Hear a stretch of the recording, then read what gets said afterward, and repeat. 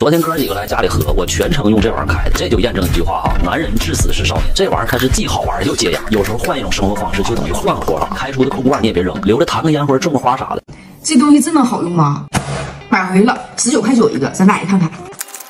它这个就是这样式的，然后两边这么一捏，就出来两个小齿轮一样的东西，不是刀片啊。然后这边还是一个开瓶器，还送了两个保护套，防割水的。咱直接开车，咱先搁一个空瓶的易拉罐试试。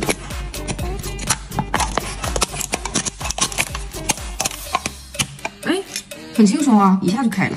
试这个口，拉不拉水？还是有点锋利的啊，但是没关系，咱有这个保护套。咱再割一个新的啊，割一个长瓶的试试，不知道这尺寸行不行？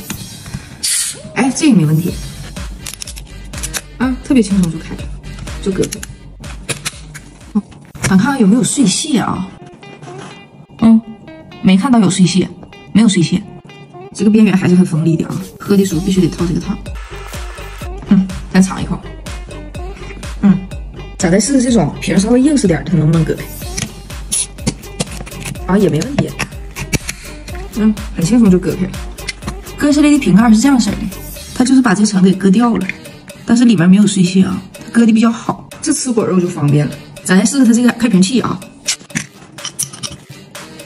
嗯，挺好用，挺方便，挺适合聚会用。聚会的时候不得喝饮料、喝酒吗？哎，然后喝完的饮料瓶一嘎，嘎完之后直接当烟灰缸，用完直接就扔掉，就不用倒烟灰缸了。